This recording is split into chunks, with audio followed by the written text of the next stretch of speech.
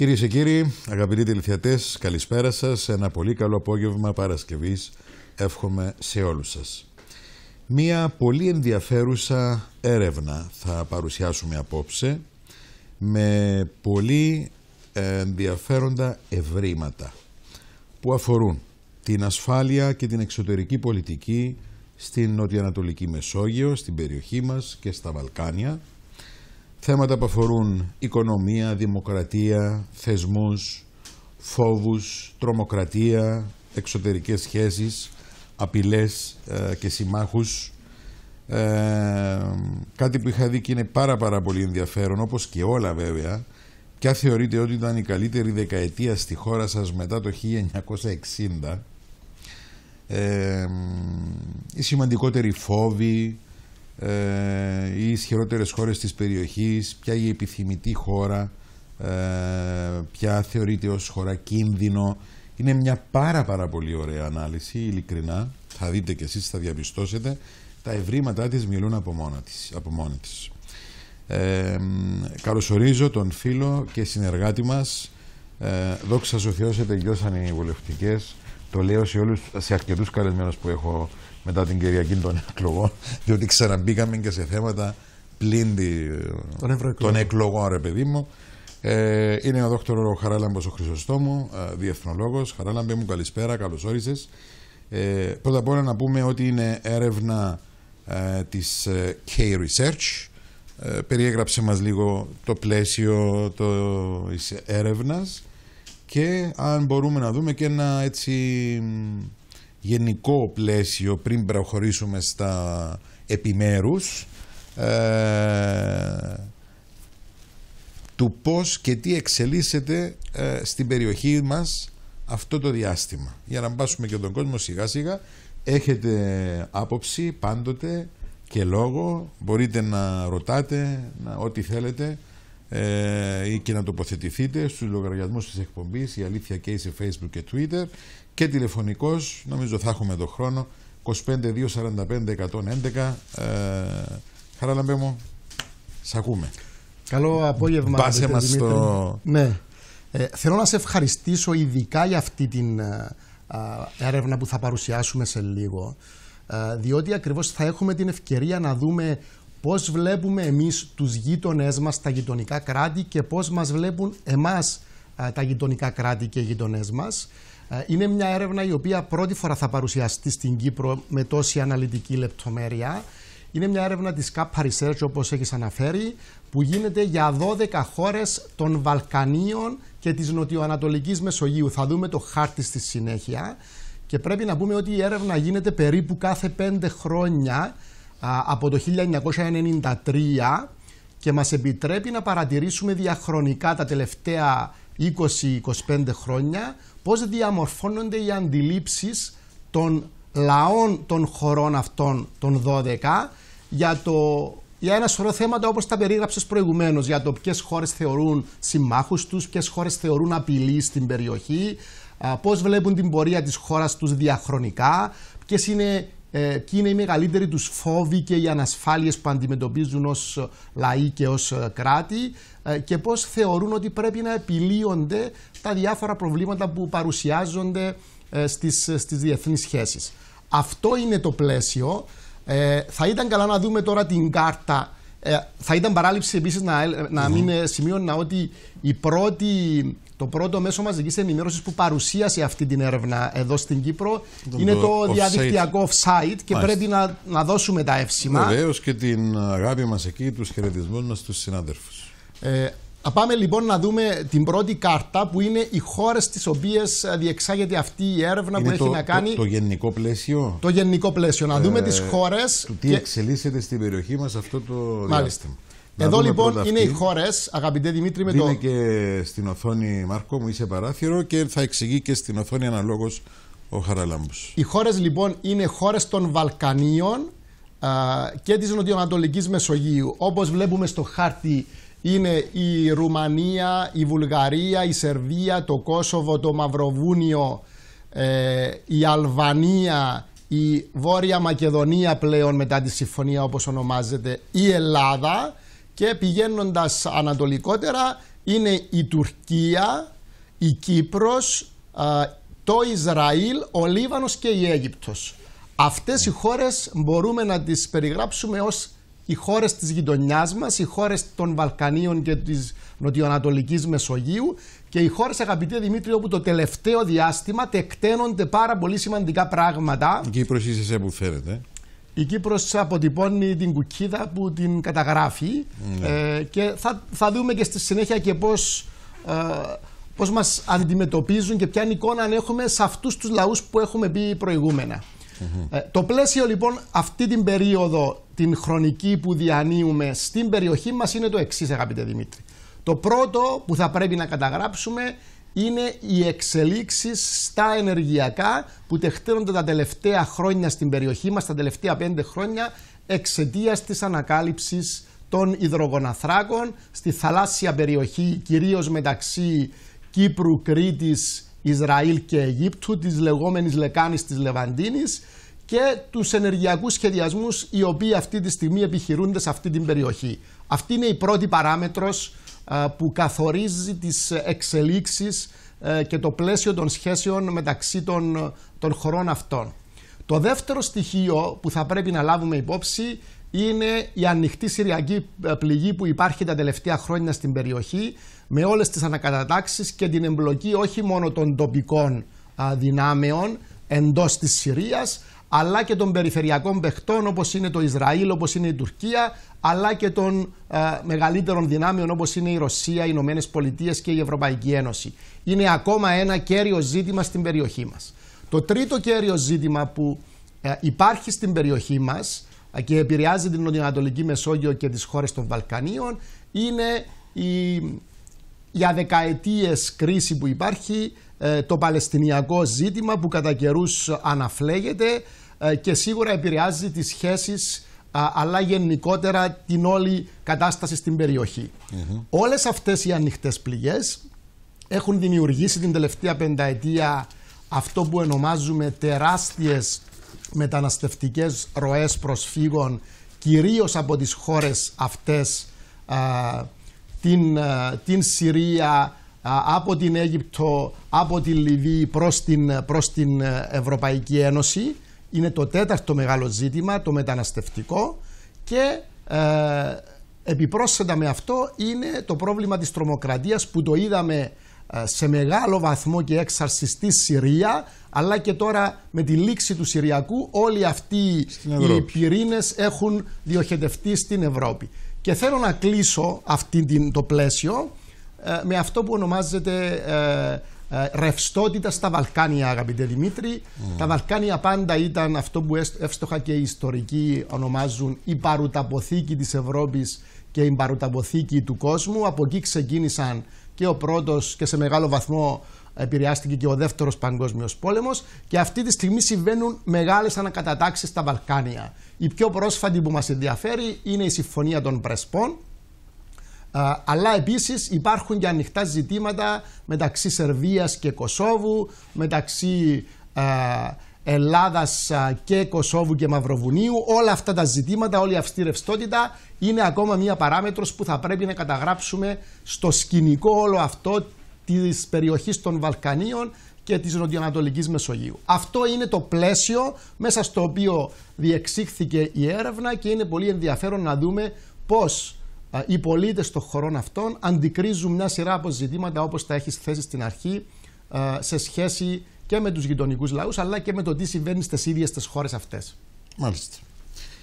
Αυτά έτσι ως γενική αν θες τοποθέτηση ε, και πλαίσιο ε, ας τα πάρουμε τώρα εξειδικευμένα έτσι ε, και ε, αν δεν τα πάρουμε ένα θα χαθούμε διότι είναι πάρα πολλά τα ευρήματα ε, να αρχίσουμε χωρίζοντας τα σε ενότητες.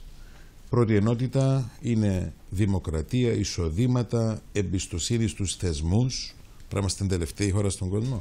Θα το δούμε. Λοιπόν, ε, ποια είναι η καλύτερη δεκαετία από το 1960 Α τα πάρουμε από την αρχή, κρεμόμαστε από τα χείλη σου και βλέπουμε και τις παραστάσεις στα γραφικά που πάντοτε είναι υποβοηθητικά και μας δίνουν έτσι μια πιο καλή εικόνα. Μάλιστα. Εδώ λοιπόν αρχίζουμε και βλέπουμε ποιες είναι οι αντιλήψεις, οι τοποθετήσεις των πολιτών της κάθε χώρας όπως αυτοί ήδη το αντιλαμβάνονται και τα προσλαμβάνουν σε σχέση με το επίπεδο δημοκρατίας που υπάρχει στη χώρα τους. Βλέπουμε εδώ λοιπόν ε, αγαπητέ Δημήτρη ότι οι πρώτες χώρες όπου οι πολίτες τους θεωρούν ότι υπάρχει ψηλό επίπεδο δημοκρατίας στη χώρα τους είναι το Ισραήλ με ένα 74% οι πολίτες του θεωρούν ότι το επίπεδο δημοκρατίας είναι από αρκετά έως πολύ καλό. Στο δεύτερο σημείο βρίσκεται η Ελλάδα και στο τρίτο σημείο βρίσκεται η Κύπρος.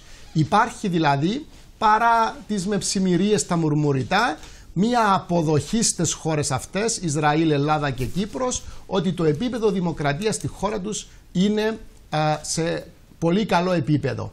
Αν διαβάσουμε το χάρτη από την, ε, τον πίνακα από κάτω, θα δούμε ότι η Βουλγαρία καταγράφει το χαμηλότερο ποσοστό εκτίμησης για το επίπεδο δημοκρατίας στη χώρα. Σχεδόν 80% του, των Βουλγάρων θεωρούν ότι η δημοκρατία στη χώρα τους είναι από λίγο έως ε, καθόλου και σε αντίστοιχο επίπεδο βρίσκεται η Βόρεια Μακεδονία, η Σερβία και η Τουρκία. Και εδώ θα πρέπει να καταγράψουμε, αγαπητέ Δημήτρη. Στην Τουρκία η κοινή γνώμη ε, έχει αντιληφθεί ότι υπάρχει θέμα δημοκρατίας. Ακριβώς. Είναι ένα αξιοσημείωτο, θα το δούμε. Ναι. Ένα 70% των Τούρκων πολιτών, πέραν του 70%, θεωρούν ότι το επίπεδο δημοκρατίας στη χώρα τους είναι από λίγο έως καθόλου. Θεωρούν δηλαδή ότι ε, η, η δημοκρατία δεν λειτουργεί όπως έπρεπε να, να λειτουργεί. Υπάρχει δηλαδή έλλειμμα δημοκρατίας.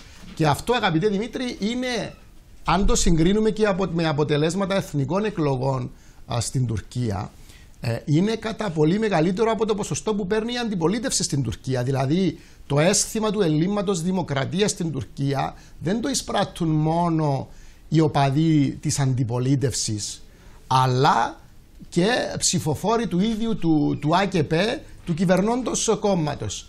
Στη Σερβία υπάρχει ένα παρόμοιο φαινόμενο. Ε, το τελευταίο διάστημα είχαμε πολλές αντικυβερνητικές διαδηλώσεις ε, στην, στη χώρα αυτή, καθώς επίσης και αυτό είναι αξιοσημείωτο ε, και στην ε, Βόρεια Μακεδονία, στα Σκόπια, φαίνεται ότι οι πολίτες της χώρας αυτής θεωρούν ότι υπάρχει τεράστιο έλλειμμα δημοκρατίας στην χώρα τους. Σαν καταληκτικό για αυτή την ε, κάρτα πρέπει να πούμε ότι Ισραήλ, Ελλάδα και Κύπρος συγκριτικά με τις υπόλοιπες χώρες των Βαλκανίων και της Νοτιοανατολικής Μεσογείου καταγράφουν τα, τα ψηλότερα ποσοστά αντίληψης για το καλό δημοκρατικό επίπεδο που έχουν στη χώρα τους. Κοίταξε, να είμαστε και ειδικοί έτσι και ρεαλιστές.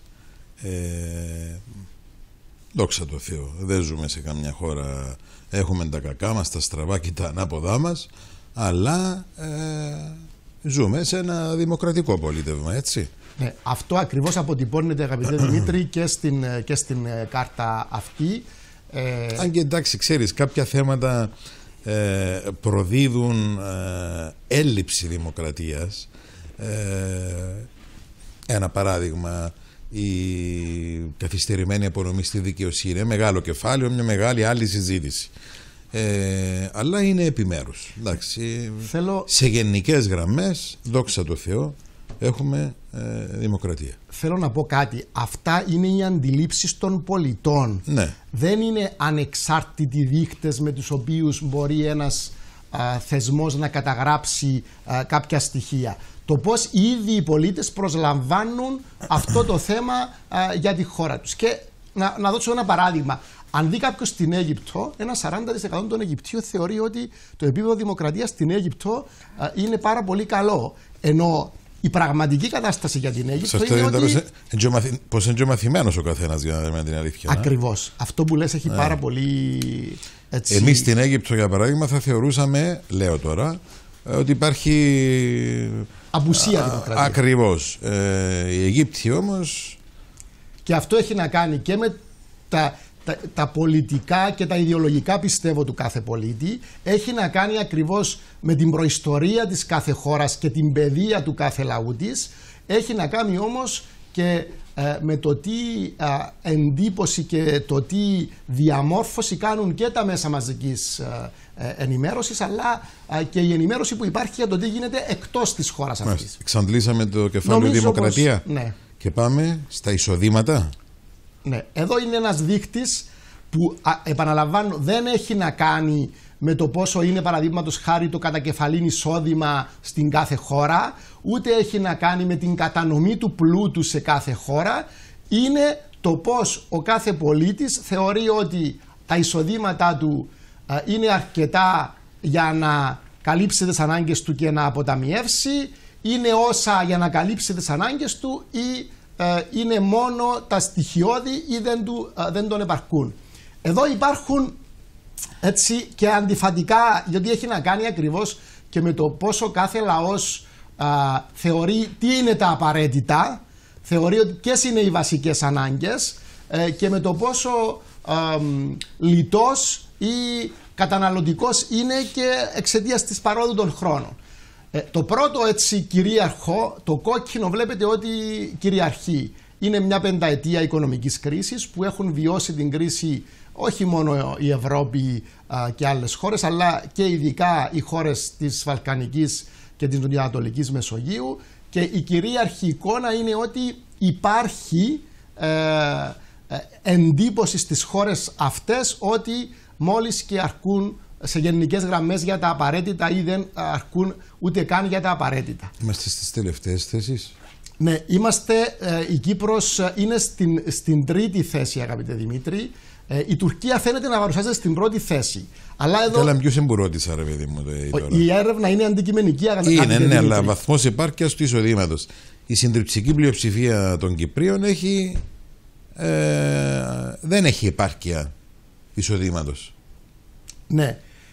Επαναλαμβάνω, ε, η, η, έρευνα αυτή έχει να κάνει και με το πώς θα το δούμε αυτό και στη συνέχεια για το ποιος θεωρεί την πιο καλή δεκαετία, διότι ο πολίτης έχει και μέτρο σύγκρισης με τα προηγούμενα χρόνια. Βλέπουμε παραδείγματος χάρη, ε, ας πάρουμε ε, χώρες που είναι φτωχές χώρες όπως είναι ε, η Αλβανία ή όπως είναι η Αίγυπτος, βλέπετε ότι η συντριπτική πλειοψηφία του πληθυσμού καταγράφει μια δυσαρέσκεια για την οικονομική κατάσταση και ότι μόλις φτάνει τα απαραίτητα για να ζήσει κάποιος. Ενώ στην Τουρκία, αγαπητέ Δημήτρη, βλέπουμε ότι ένα ποσοστό 66% τον, τον, είναι επαρκή η οικονομική του κατάσταση και για να αποταμιεύει αλλά και για να ζει με ό,τι αυτό χρειάζεται. Έχει να κάνει αυτό το πράγμα ε, με το γεγονός ότι επί Ερτογάν η οικονομική κατάσταση, ειδικά τα πρώτα χρόνια διακυβέρνησης, είχε αυξηθεί ειδικά για τα μεσαία και για τα χαμηλά εισοδηματικά στρώματα και είναι αυτό το πράγμα τώρα που αρχίζει και αλλάζει και νιώθει την πίεση ο Ερτογάν λόγω ακριβώς της οικονομικής κατάστασης. Και στο Ισραήλ η κατάσταση είναι ισορροπημένη. Υπάρχει ένα τρίτο του πληθυσμού που μπορεί να αποταμιεύει, ένα άλλο τρίτο του πληθυσμού που έχει όσα χρειάζεται ενώ στην Κύπρο είναι, είναι σημαντικό να το συγκρίνουμε με άλλες πενταετίες και είναι η, κάρτα, νομίζω, που λέει για το ποια είναι η, καλύτερη δεκαετία που θα μας δώσει έτσι μια καλύτερη εικόνα ε, όσον αφορά την οικονομική κατάσταση. Πριν από αυτήν, έχουμε όμως την εμπιστοσύνη στους θεσμούς. Πάμε στην εμπιστοσύνη στους θεσμούς. Ναι, εδώ η, ο πίνακας που βλέπουμε στα αριστερά είναι η γενική κατάσταση για όλες τις χωρες και στη συνέχεια θα δούμε την ειδική κάρτα για την, ε, για την Κύπρο και την, και την Ελλάδα. Πού είμαστε εμείς; Ε, βλέπετε ότι ο πρώτος θεσμός που εμπιστεύονται αυτές οι χώρες είναι ο θεσμός του στρατού. Διότι ακριβώς θεωρούν ότι η στρατιωτική επάρκεια και η ικανότητα μιας χώρας... Θα πρώτη είναι η Τουρκία και το Ισραήλ φανταζούμε. Θα το δούμε, είναι, είναι καλή η επισήμανσή σου. Ε, άρα εμπιστεύονται το στρατό για θέματα ασφάλειας, για θέματα άμυνας και ούτω καθεξής. Ενώ ακριβώς τον αντίποδα ε, θα δούμε ότι ο βαθμός εμπιστοσύνης για τα πολιτικά κόμματα ανεξαρτήτως από ποια χώρα ε, ε απαντά ο πολίτης είναι σε πάρα πολύ χαμηλό βαθμό μαζί με τα συνδικάτα, το Κοινοβούλιο και το Υπουργείο Οικονομικών.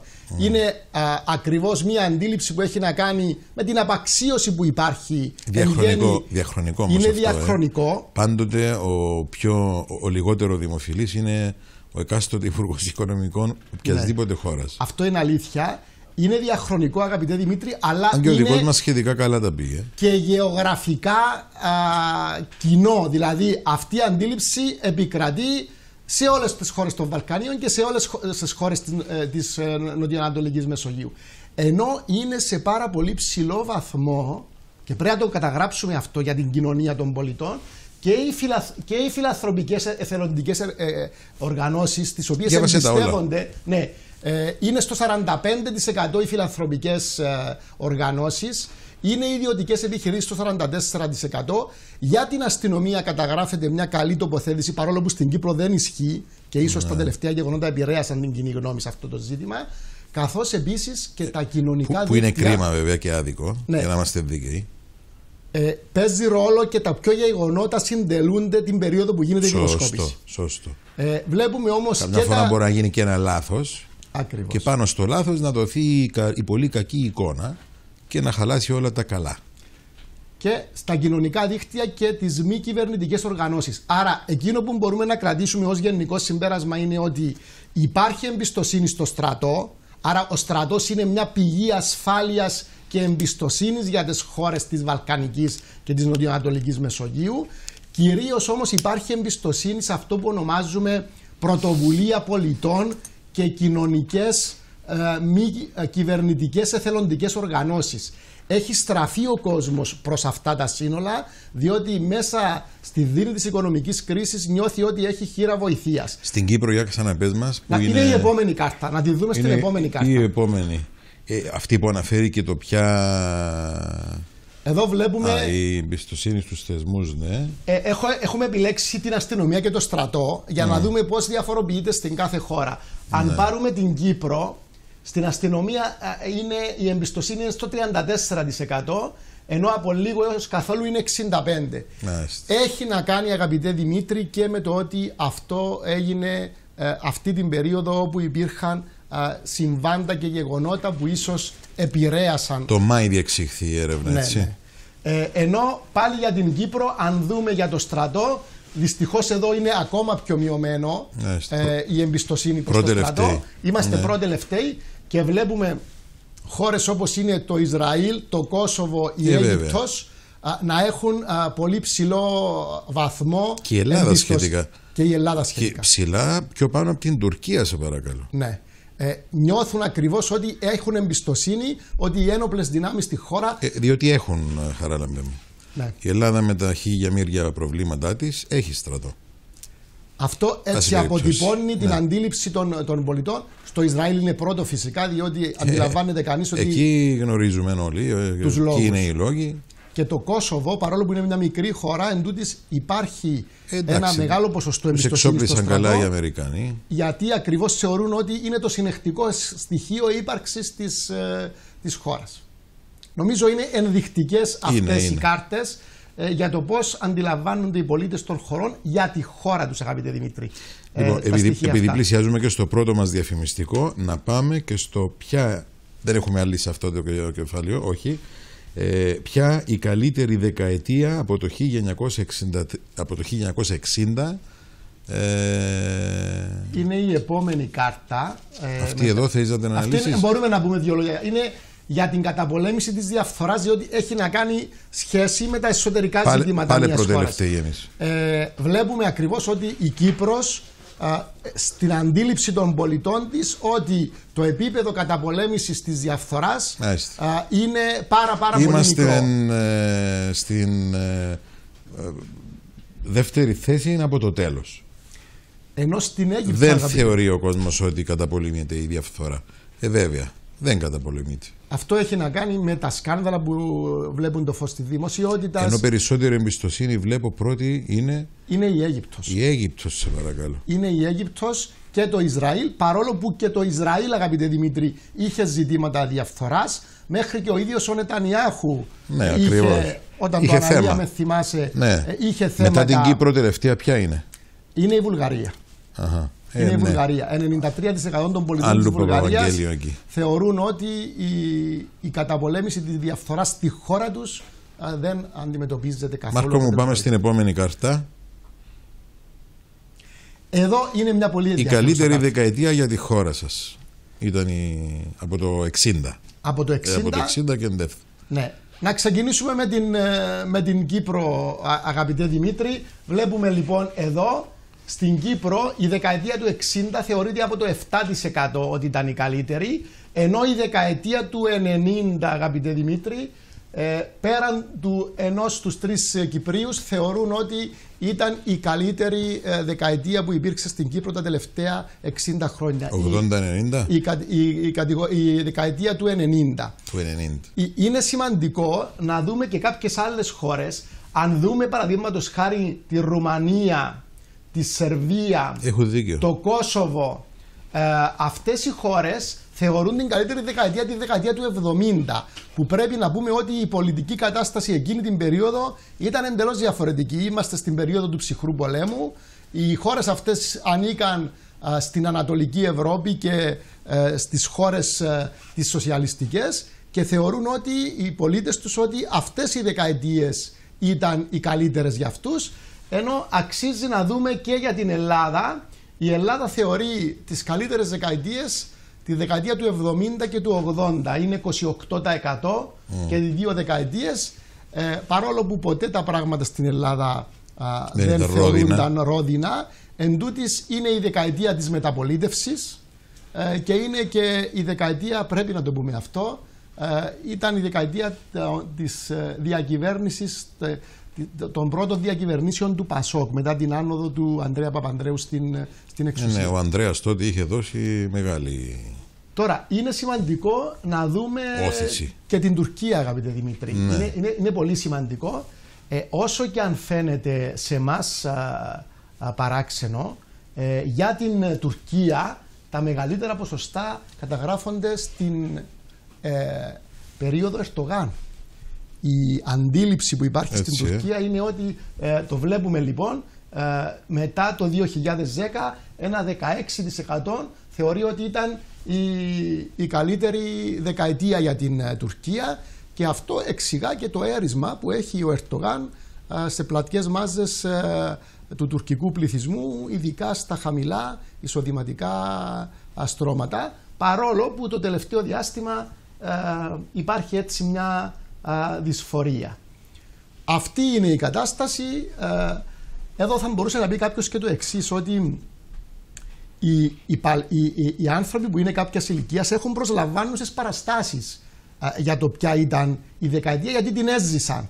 Οι νεότεροι όμως, αγαπητέ Δημήτρη, δεν έχουν προσλαμβάνουσες παραστάσεις και η εντύπωση η οποία έχουν α, για, για τις δεκαετίες που προηγήθηκαν είναι η Ναι. εντύπωση που εισπράττουν είτε από τους γονείς τους είτε ως αποτίμηση α, από τα μέσα μαζική ενημέρωσης. Λοιπόν, πάμε στο πρώτο διαφημιστικό. Απάντησε μου όμως σύντομα δύο ερωτήσεις για να μην α, αφού τις έχουμε. Ο κύριος Ανδρέας Χατζικώστα ρωτά, και έχει δίκιο. Δεν μπορώ να καταλάβω, λέει για την Κύπρο, δηλαδή το 56% που δεν πιστεύει ότι υπάρχει δημοκρατία, αυτό είναι ότι έχουμε δημοκρατία, λέει. Το 56% πιστεύει ότι το επίπεδο δημοκρατίας είναι χαμηλό. Δεν πιστεύει ότι δεν υπάρχει δημοκρατία. Μπράβο. Γι' αυτό σε Να ρωτώ το για να, διευκρινίσουμε, ναι. να μην αφήνουμε και έτσι αναπάντητε να είμαστε ακριβείς. Οπότε κύριε Ανδρέα μου είναι ακρό αυτό ακριβώς πω. Ε, ο κύριος Λευτέρης εδώ, ο Λευτέρης μας λέει ε, πόσα είναι τα αποθέματα των υδρογοναθράκων στις αραβικές χώρες. Είναι αυξητικός ή μειωμένος ο ρυθμός εξόριξης των αποθεμάτων τους. Επίγει για τη ΣΥΠΑ και τους υπόλοιπους μνηστήρες των αποθεμάτων μας η εξόριξή τους ή μπορούν να περιμένουν μερικές δεκαετίες. Νομίζω θα το δούμε σε άλλες κάρτες αυτό. Το δούμε σε άλλες κάρτες. Έχει Οπότε να κάνει με αναμένουμε. τους συμμάχους και τις ε, συμμαχίες. Ακριβώς. Λοιπόν, πάμε στο πρώτο μας διαφημιστικό. Σε λίγο πάλι μαζί. Μεταφέρετε και άλλες ερωτήσεις. Αν θέλετε, ε, κάντε το και τηλεφωνικά. Σε λίγο πάλι μαζί.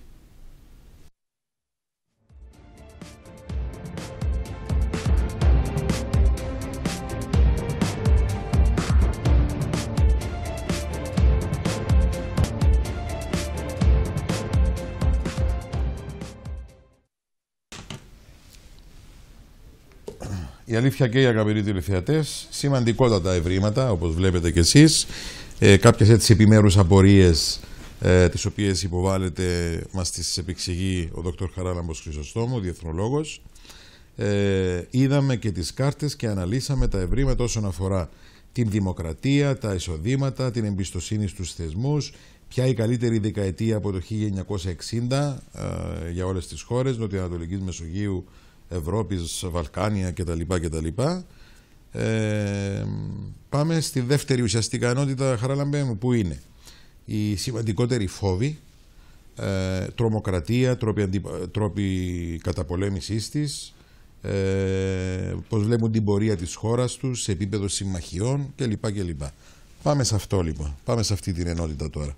Συνεχίζουμε αγαπητέ Δημήτρη, αυτή η ενότητα να θυμίσουμε για όσους τώρα α, άνοιξαν τους δέχτες των τηλεοράσεων ότι είναι μια μελέτη της ΚΑΠΑ Research που γίνεται τα τελευταία 25 χρόνια στην Νοτιοανατολική Μεσόγειο και στα Βαλκάνια. Για την ασφάλεια, την εξωτερική πολιτική στην Νοτιοανατολική Μεσόγειο και τα Βαλκάνια και καλύπτει ουσιαστικά όλα τα θέματα. Έτσι, οικονομία, δημοκρατία, θεσμοί, φόβοι, τρομοκρατία, εξωτερικές σχέσεις, απειλές, σύμμαχοι και διάφορα άλλα.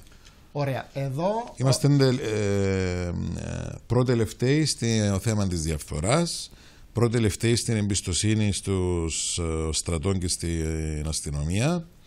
Ε, στα άλλα πήγαμε καλά σχετικά.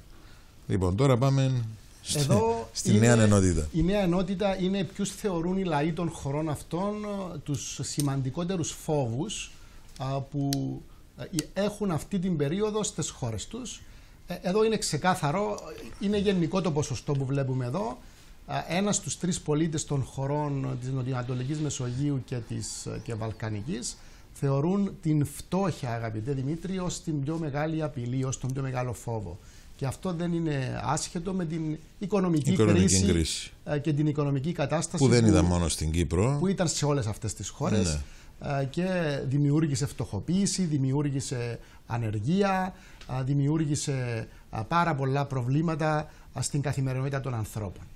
Εδώ είναι σημαντικό επίσης να καταγράψουμε ότι ο φόβος για ένα νέο παγκόσμιο πόλεμο είναι σχετικά απομακρυσμένος παρόλο που υπάρχουν στην περιοχή μας εστίες τοπικών ή και περιφερειακών διενέξεων όπως είναι το Παλαιστινιακό ή όπως είναι το Συριακό και ούτω καθεξής.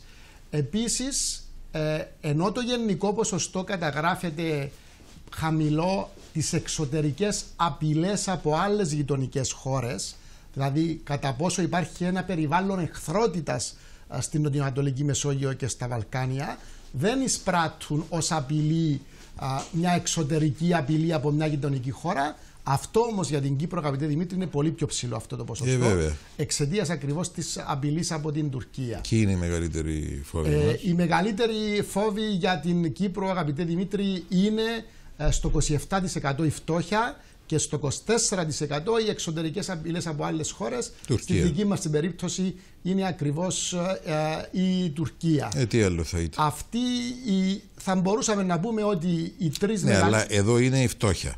Στην προηγούμενη κάρτα που είχαμε δει στην πρώτη μέρος της εκπομπής, ε, στην απάντηση ε, είχε πάει σχετικά καλά αν τα εισοδήματά σας ε, είναι ψηλά και σας φτάνουν. Πώς ε, ναι, εδώ, έρχεται σε...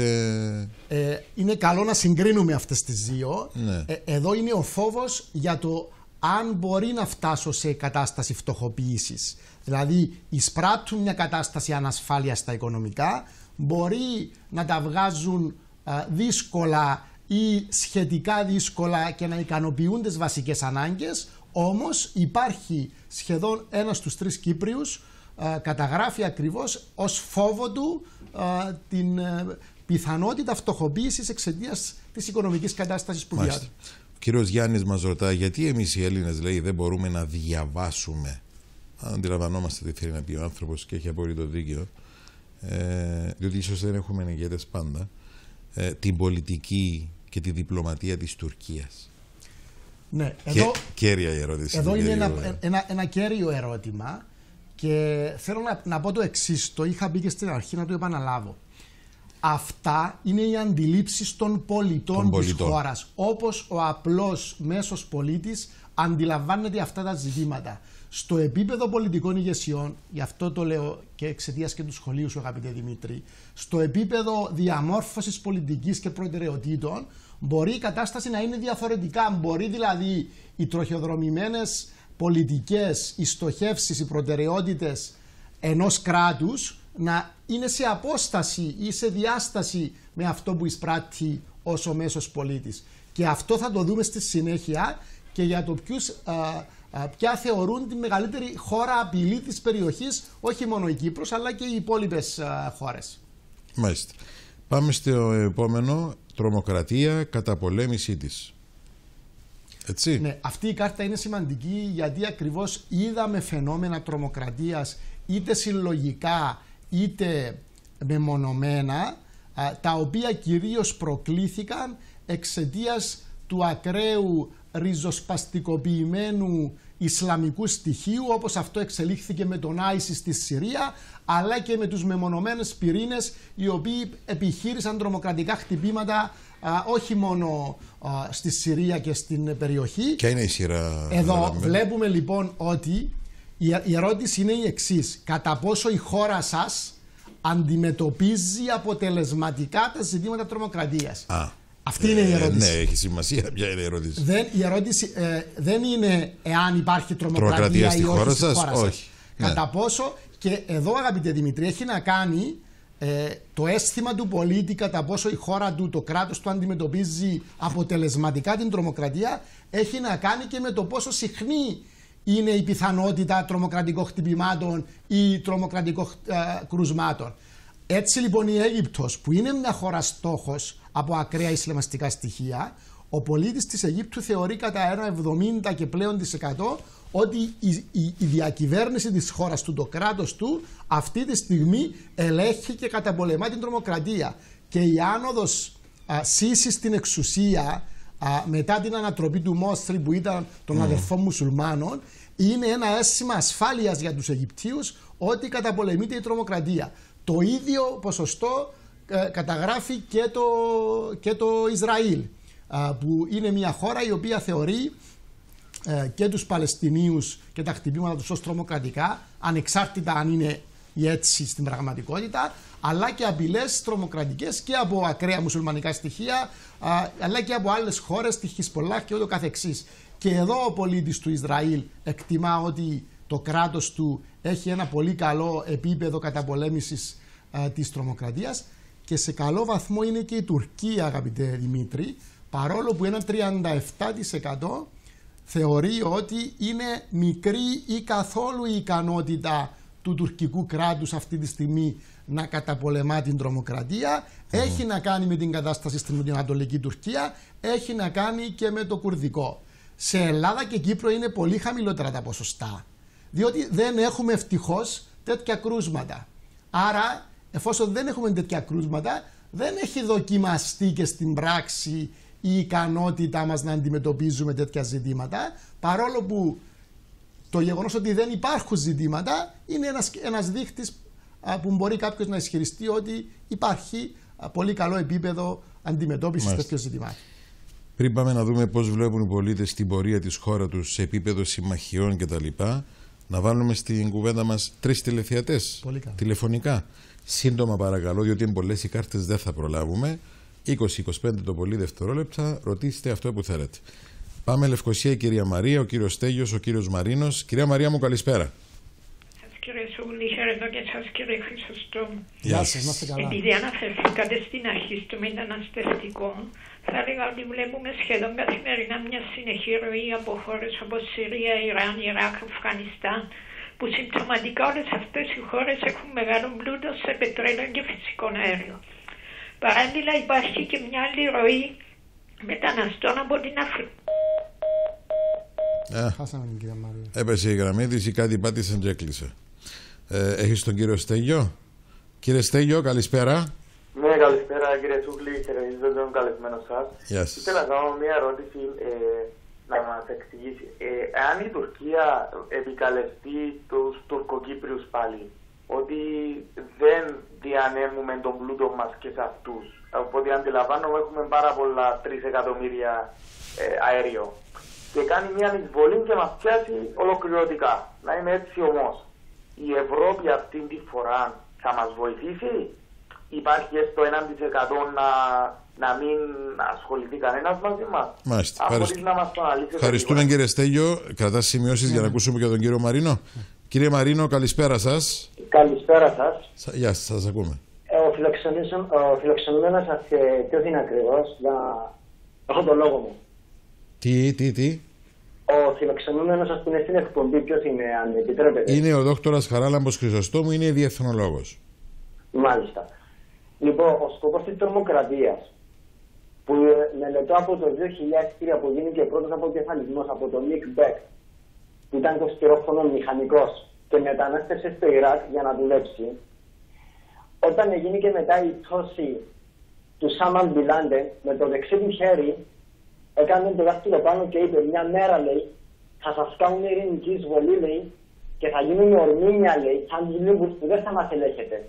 Και ό,τι είπε αυτός ο τριχάθλιος, βλέπουμε τώρα στην Κύπρο που έρχονται κατεχόμενα, δίθεν προσποιούνται ότι είναι πρόσφυγε, ενώ είναι τζιχανιστές, που είδαμε στις ιστοσελίδες ίδιους ανθρώπους που αποκεφαλίζαν μωρά και ανθρώπους, πώς ήταν με τα μαχαίρια και πώς ήταν με πολιτικά ρούχα, που, που απαγάγουν γυναίκες και παιδιά προς την πεντήρινη ότι είναι ο πατέρας τους, για να έρχονται και να αυξάνονται στην Κύπρο και στην Ελλάδα. Ευχαριστούμε κύριε Μαρίνο. Το σχολείο σου και για τα δύο. Ε, να κάνω, α, ξεκινήσω πρώτα από τον κύριο Στέλιο. Ε, την κυρία Μαρία δεν την ακούσαμε δυστυχώς. Ναι, έπεσε η γραμμή, δεν ξέρω. Ε, εκτιμώ ότι είναι μια πάρα πολύ απομακρυσμένη έως και μηδενική πιθανότητα η Τουρκία να επεκτείνει την εισβολή τουλάχιστον στην, ε, στη ξηρά για όλη την Κύπρο. Τώρα, το πόσο αποτελεσματική θα είναι η Ευρωπαϊκή Ένωση, νομίζω σε 15 μέρες από σήμερα, όταν θα είναι η σύνοδος ε, της ε, κορυφής στην, στην Ευρωπαϊκή Ένωση, ναι.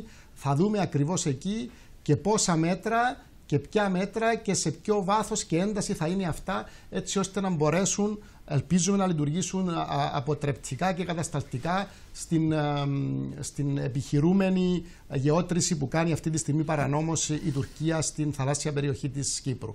Όσον αφορά την τρομοκρατία, ναι, ε, η, προηγούμενη δεκαετία ήταν μια ε, δεκαετία έξαρσης της τρομοκρατίας, ειδικά στις χώρες που ανάφερε ο, ο τηλεθεατής, φαίνεται ότι με την καταπολέμηση. Και αυτά που είπε ο κ. Μαρίνος ε, τα είχαμε κάνει σε εκπομπές με πλήρη ανάλυση, θυμάσαι παλαιότερα. Ναι.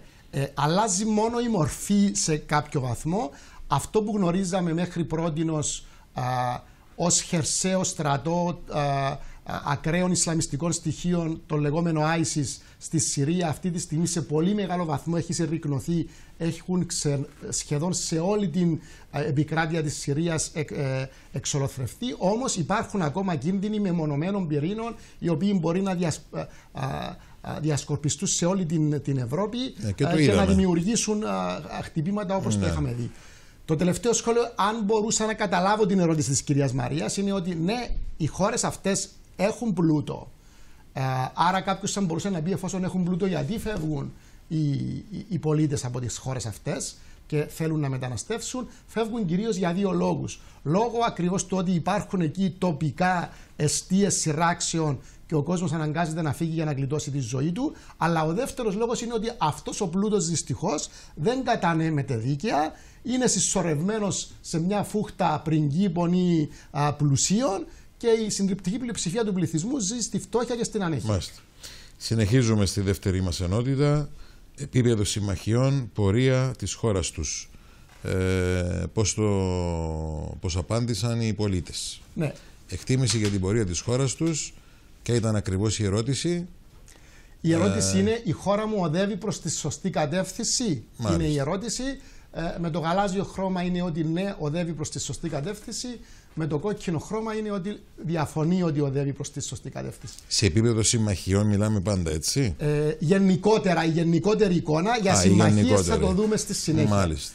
Πάλι βλέπουμε ότι η Αίγυπτος είναι πρώτη και φαίνεται εδώ ότι είναι ένας ψήφος εμπιστοσύνης προς το ΣΥΣΥ. Ε, γενικά ο, ο ΣΥΣΥ κάνει δουλειά και τους έχει ευχαριστημένους. Ακριβώς. Η Κύπρος που είναι. Το ίδιο και το Ισραήλ. Η Κύπρος ε.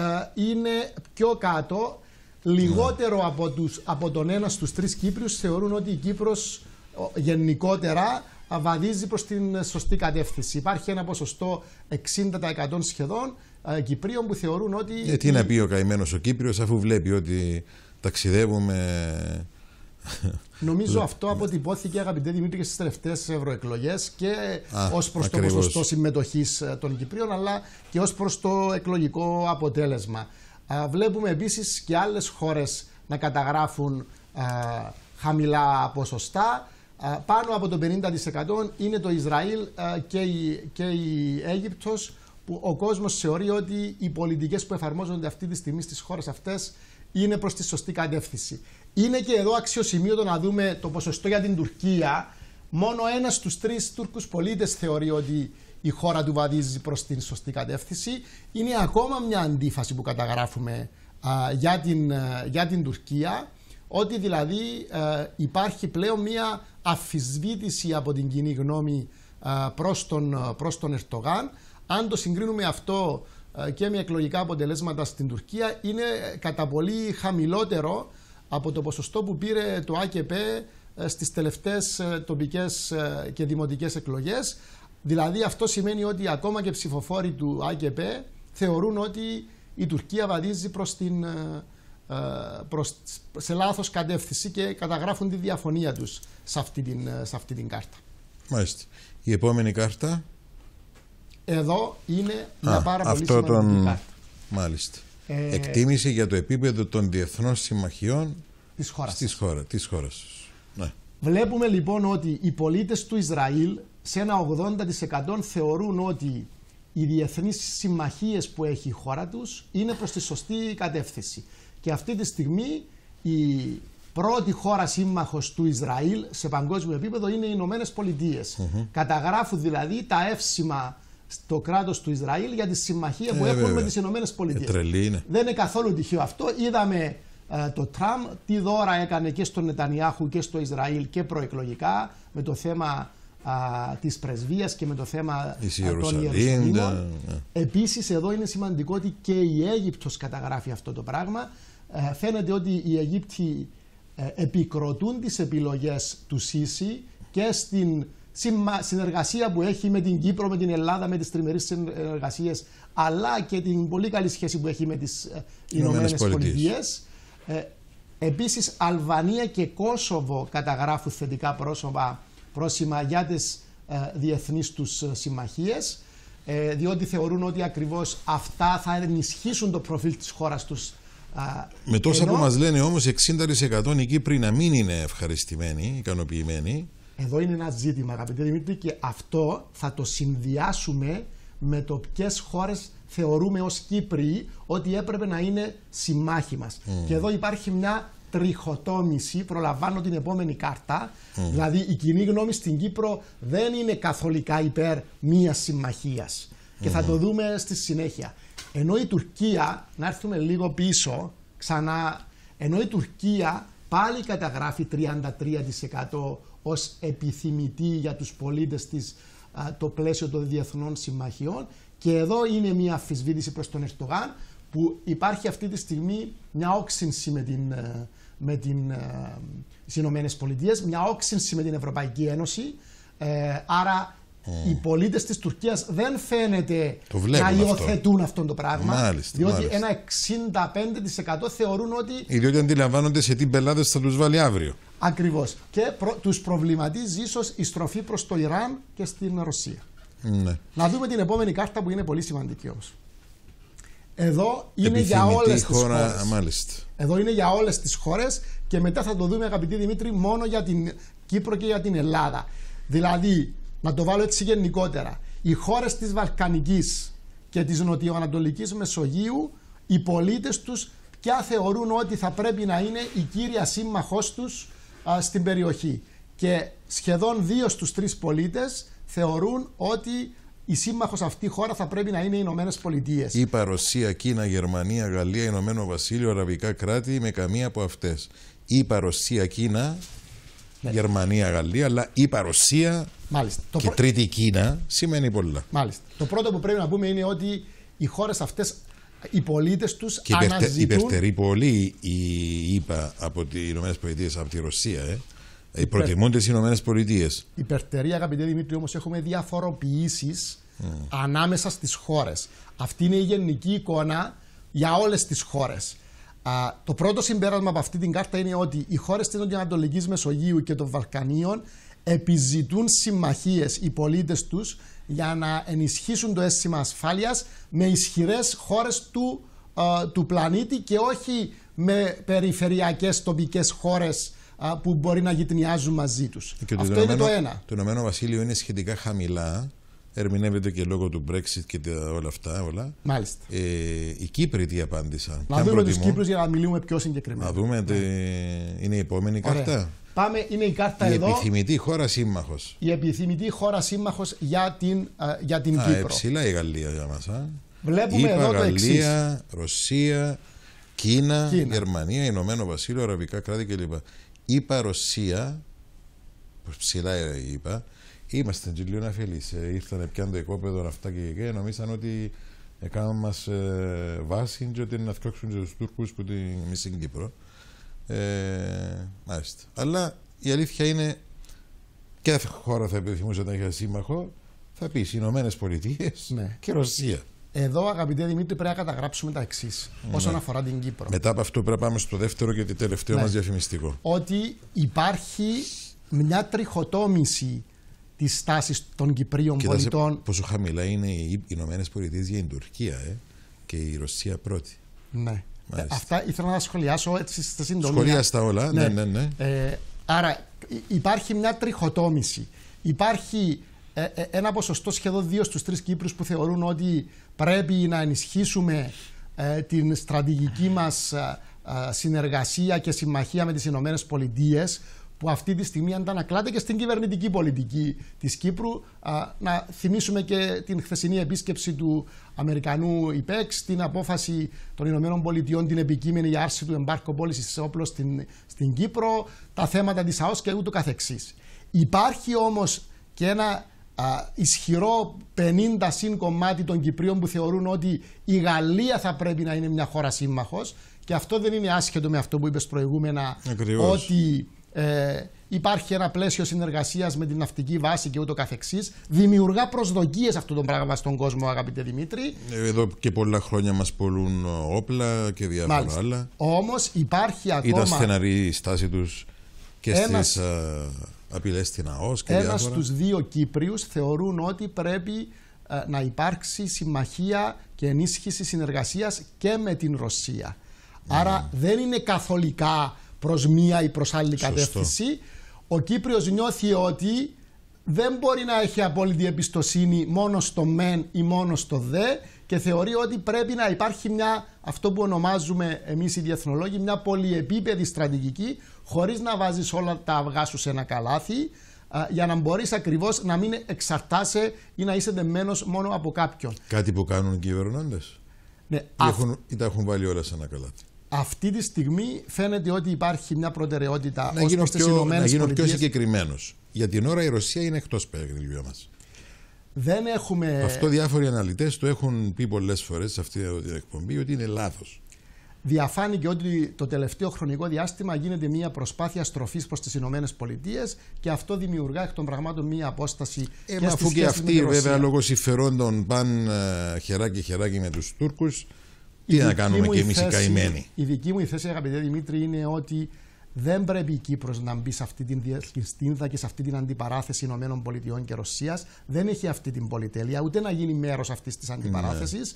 Μπορούμε να αναπτύσσουμε συνεργασίες εκεί και όπου συγκλίνουν τα συμφέροντα μας α, με χώρες οι οποίες έχουν και εκείνες ε, το ενδιαφέρον αυτό, αλλά την ίδια στιγμή δεν μπορούμε να διασαλεύσουμε ή να δημιουργήσουμε έτσι ψυχρότητα με χώρες που ήταν α, πάγια και σταθερά α, χώρες υπέρ τουλάχιστον σε θέματα αρχών α, των κυπριακών θέσεων, όπως ήταν η Ρωσία. Ολοκλήρωσε Χαράλαμπε μου είναι 7 και 6. Έπρεπε να πάμε από τις 7 στο διαφημιστικό. Ένα σχόλιο μόνο για το τι πιστεύουν οι Τούρκοι πολίτες ως προς το σύμμαχο της χώρας τους. Βλέπουμε ότι οι ΗΠΑ ενώ είναι Ε, σύμμαχος, του έπεισε ο. Τους έπεισε ο Ενώ Ερντογάν. πριν διαφωνούσαμε με τον Ερτογάν, εδώ τους έπεισε. Εδώ υπάρχει, υπάρχει ξεκάθαρη τοποθέτηση. Άρα και ο λαός είναι ε, φιλοπόλεμος, στρατοκρατούμενος ε, σκέφτεται το ίδιο όπως η ηγεσία του. Αυτό θα το δούμε στην κάρτα για το, ποιο, για το ποιο μέθοδο θεωρούν πιο αποτελεσματική για επίλυση των διαφορών. Εδώ όμως φαίνεται ότι υπάρχει ένα, ας μου επιτραπεί η έκφραση, φιλορωσικό κλίμα αυτή τη στιγμή στην τουρκική κοινή γνώμη.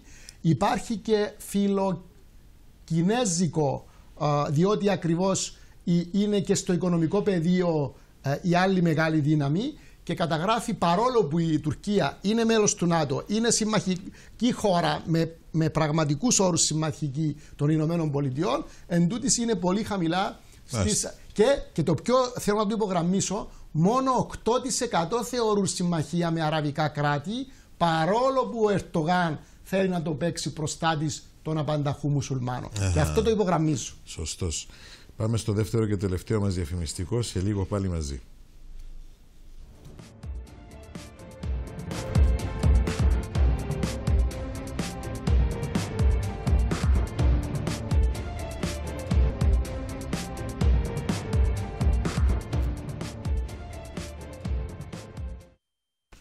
Η αλήθεια και οι αγαπητοί τηλεθεατές μας απομένουν περίπου 10 λεπτά για να ολοκληρώσουμε την παρουσίαση των ε, πολύ σημαντικών ευρημάτων της έρευνας της ΚΑΠΑ Research ε, με γενικότερο τίτλο «Ασφάλεια και εξωτερική πολιτική στην Νοτιοανατολική Μεσόγειο, στην Ευρώπη, στα Βαλκάνια».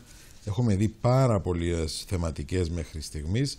Μπήκαμε και στην τρίτη ήδη ενότητα, είδαμε τις συμμαχίες συνεργασίας, ποια η πιο επιθυμητή χώρα για την κάθε χώρα για συμμαχία. Ε, πάμε σε μια κάρτα τώρα που έχει πολύ μεγάλο ενδιαφέρον. Χώρα κίνδυνος. Χώρα κίνδυνος και αμέσως μετά οι ισχυρότερες χώρες της περιοχής. Χώρα κίνδυνος. Πρώτη Τουρκία, ε.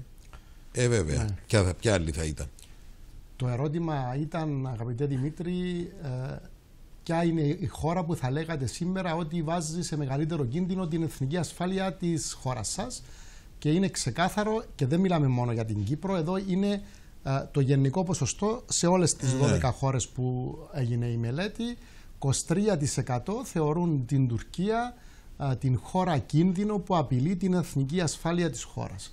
Αυτό δεν είναι καθόλου τυχαίο. Έχει ε, να κάνει με την εξωτερική πολιτική της Τουρκίας, με τις συχνές παραβιάσεις της χώρας αυτής και στο Αιγαίο και στην ΑΟΣ, με την συμπεριφορά της χώρας αυτής και στο Συριακό σε σχέση με τους Κούρδους και την αντιπαλότητα που έχει με το Ισραήλ και τις αντιπαραθέσεις που έχουν μαζί αλλά και την προσπάθεια της χώρας αυτής, της Τουρκίας αγαπητέ Δημήτρη, για να διεισδύσει και να δημιουργήσει ε, ρίσματα και ε, εστίες έτσι ελέγχου και στη Βαλκανική. Και εκεί ε, στις χώρες της Βαλκανικής υπάρχουν μουσουλμανικές μειονότητες οι οποίες επιχειρεί η Τουρκία να ελέξει και να αποδιγετήσει.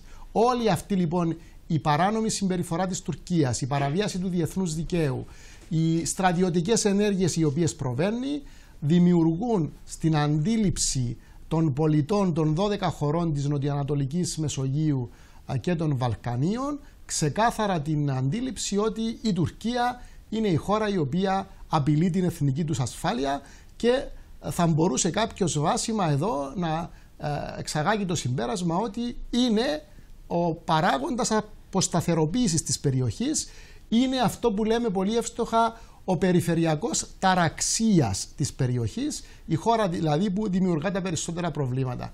Και το γεγονός ότι αυτή τη στιγμή έχει και εσωτερικά ζητήματα να επιλύσει ο Ερτογάν, όπως είναι το θέμα της οικονομίας, όπως είναι η αφισβήτηση, οι εκλογές και αυτό ακριβώς τον κάνει να συμπεριφέρεται ε, και να βρίσκει τη χώρα αυτή σε μια νευρικότητα, σε μια κατάσταση που θέλει να διοχετεύσει στο εξωτερικό τα όποια όσα προβλήματα εσωτερικά έχει.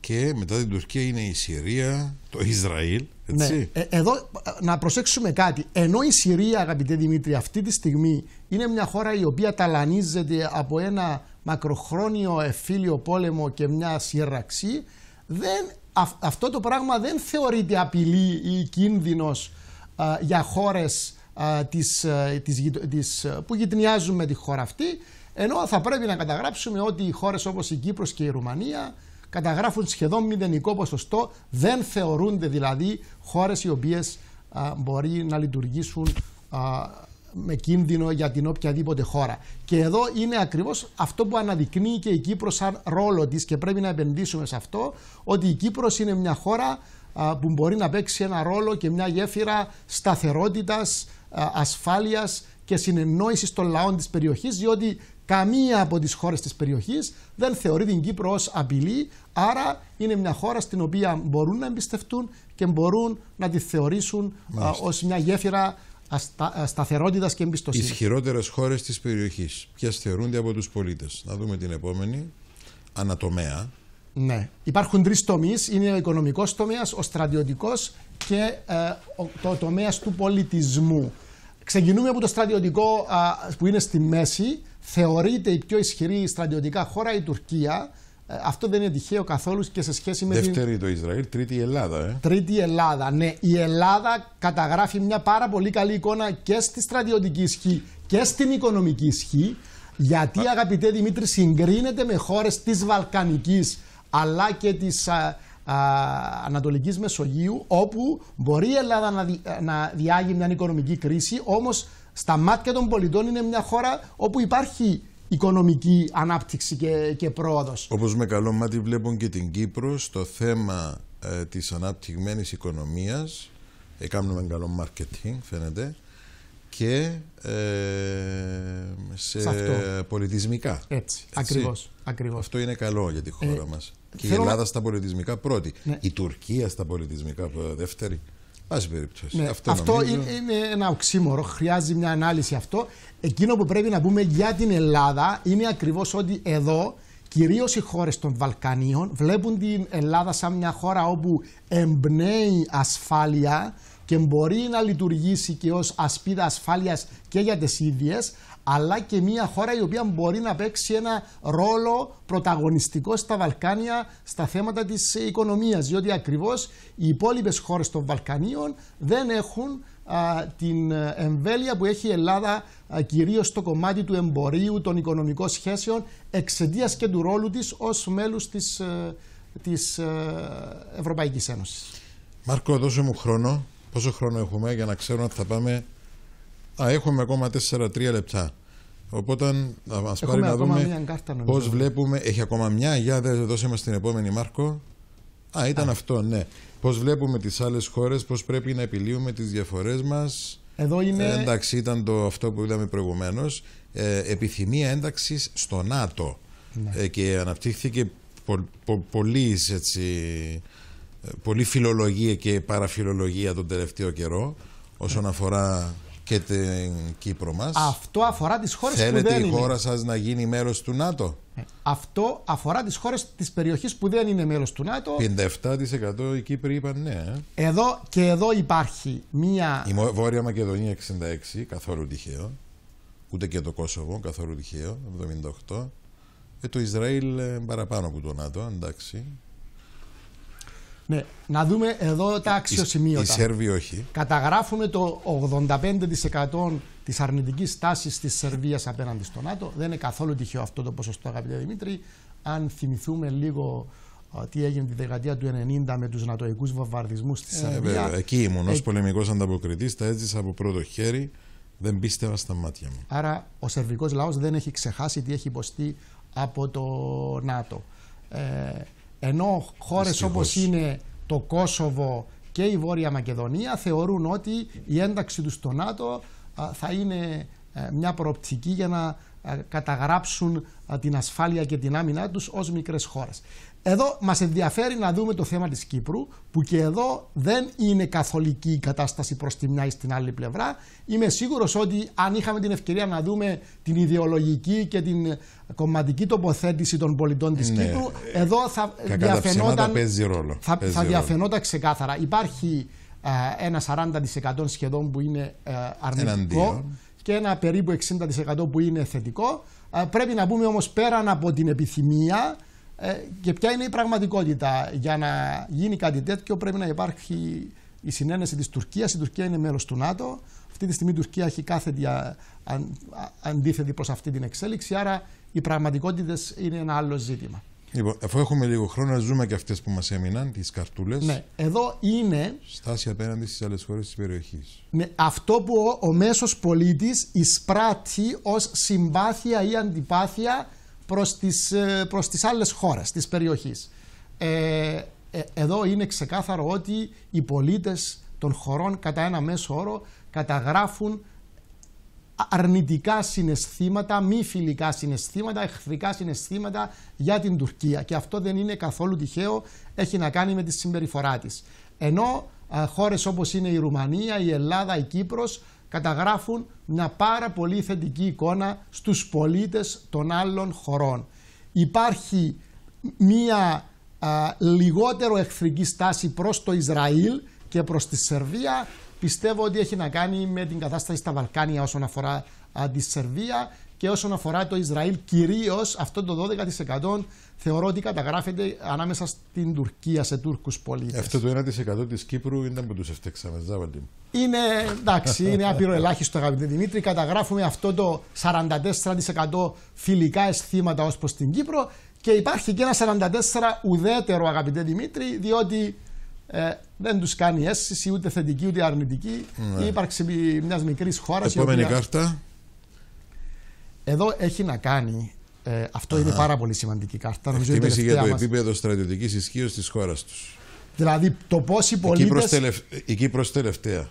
το πώς οι πολίτες θεωρούν ότι η χώρα τους είναι στρατιωτικά ισχυρή α, και μπορεί ακριβώς λόγω αυτής της ισχύς που Ισραήλ, έχει Αίγυπτος, Τουρκία, Λίβανος, Ελλάδα, Κόσοβο, Σερβία, Αλβανία, Βόρεια Μακεδονία, Ρουμανία, Βουλγαρία, Κύπρος. Τελευταία. Ρε, δυστυχώς. εδώ, εδώ είναι μια αυτογνωσία αγαπητέ Δημήτρη πρέπει να το ομολογήσουμε Ναι. Σωστό. έχει αυτογνωσία ο Κύπριος για την Εκτίμηση για το επίπεδο στρατιωτική στρατιωτική ισχύως της χώρας του. έχει Να τα βλέπουν οι αυτογνωσία εκάστοτε κυβερνώντες και οι πολιτικοί ηγέτες και τα κόμματα και να ντρέπονται, θεωρώ.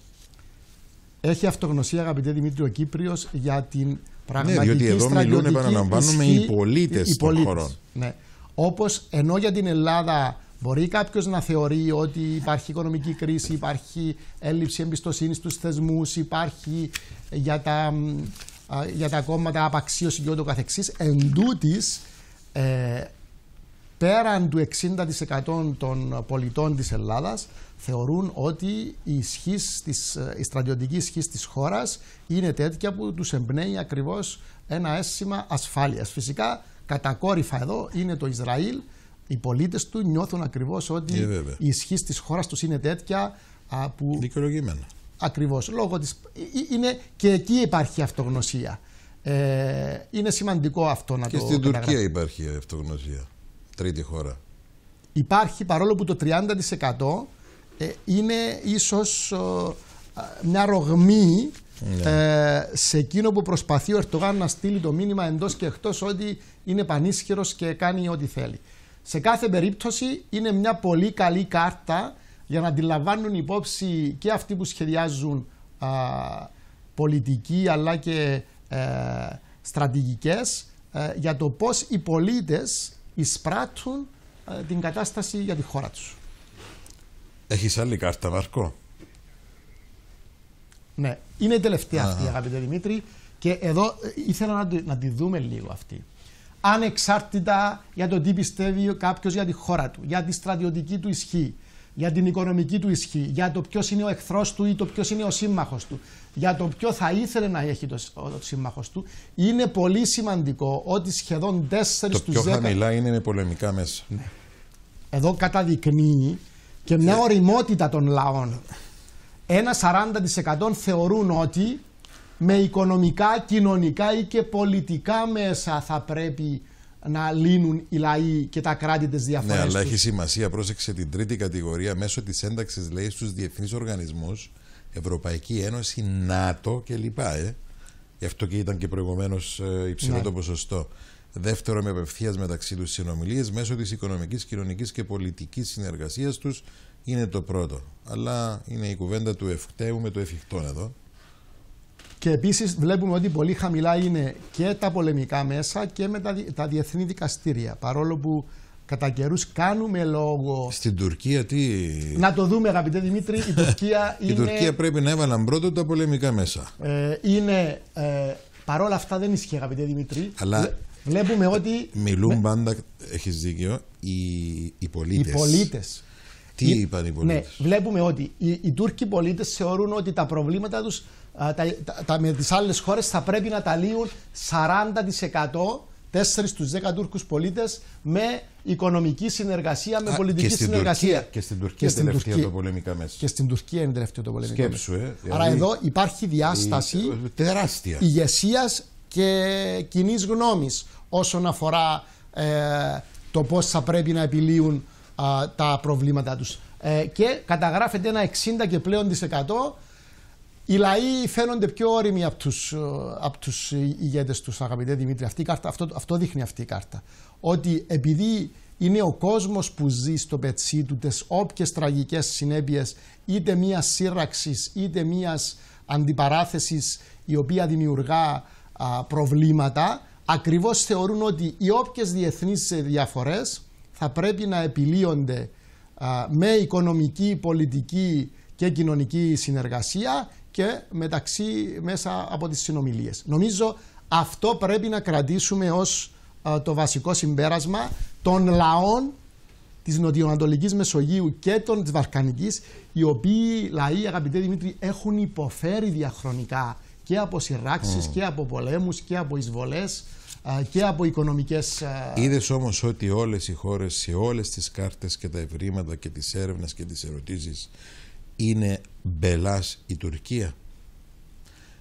Κι όμως ε, κανείς, ρε παιδί μου, δεν τη βάζει στη θέση της. Δεν της κόβει το βήχα.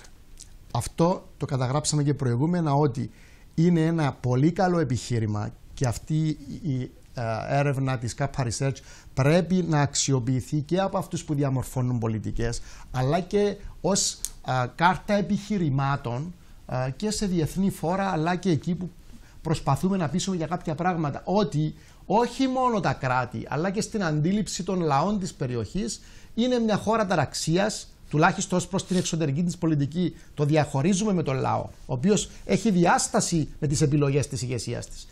Με- που παραβιάζει το διεθνές δίκαιο, που καταγράφει α, απειλές, που θεωρείται ως εχθρική απειλή για την ασφάλεια χωρών και όπως είπες προηγούμενα αγαπητέ Δημήτρη, θα πρέπει να βρεθούν οι ουσιαστικοί, οι πρακτικοί τρόποι συμμόρφωσης της Έτσι. με το διεθνές δίκαιο και ειδού πεδίο δόξης λαμπρών 20 Ιουνίου στη Σύνοδο που πρέπει εκεί να δούμε Ευρωπαϊκής χειροπιαστά αποτελέσματα. Ακριβώς.